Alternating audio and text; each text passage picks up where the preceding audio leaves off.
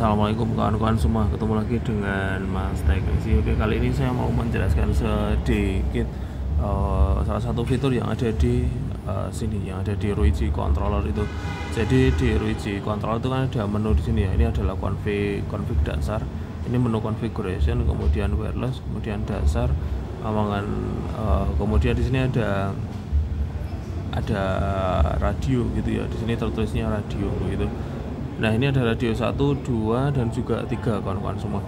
Untuk yang radio 1 ini tertulis 2,4 kemudian radio 2 5 GB kemudian radio 3 itu adalah 2,4 atau 5 GHz nah ini uh, barusan dapat penjelasan begitu. Untuk penggunaannya itu jadi uh, radio 1 itu berarti uh, perangkat perangkat yang menggunakan SSID ini atau project yang ada di dalam SSID ini atau SSID yang ada uh, project yang menggunakan SSID ini itu dia maka menggunakan uh, mengaktifkan fungsi WiFi 2,4 GHz dengan kliennya maksimal itu 32 kemudian klien yang 31 yang tersambung menggunakan uh, band 2,4 itu tidak tidak bisa. Klien yang 33 mal klien yang nomor 33 yang menangkan band 2,4 itu maka dia tidak bisa tersambung begitu? Ini saya besarkan aja untuk mudah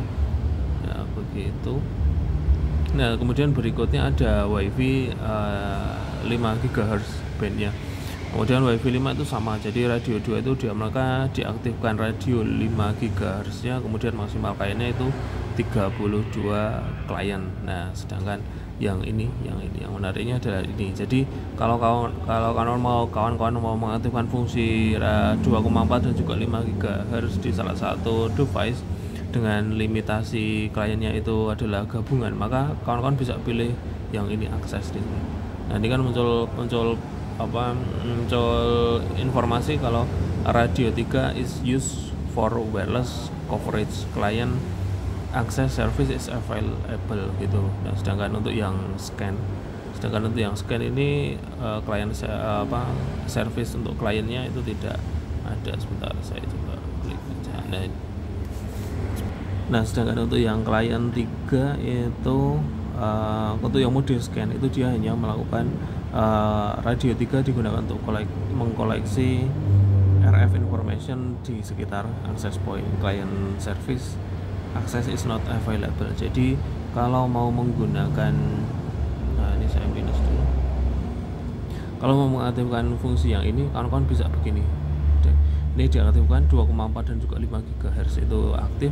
Kemudian yang 5 GB itu dimatikan. Kemudian yang 2,4 itu juga dimatikan gitu. Oke terus ini kawan-kawan bisa ditambahkan ini ada apa? Coba coba dan sesuai dengan rekomendasi. Salah satu rekomendasinya adalah RGEW 1800 gitu nah, yang pro itu sema rekomendasi usernya itu 48 itu. Itu 48 makanya uh, ini juga saya isi lah. 48 atau atau 60 lah. Atau 60 begitu 60 nah sudah begitu nah, jadi uh, pemanfaatannya itu fungsinya seperti ini untuk radio uh, radio bandwidth yang ada di uh, Ruiji SSID oke sekian dulu dari Mas Teknisi. Like dan juga subscribe. Terima kasih sudah menonton sampai belakang kawan-kawan. Assalamualaikum warahmatullahi wabarakatuh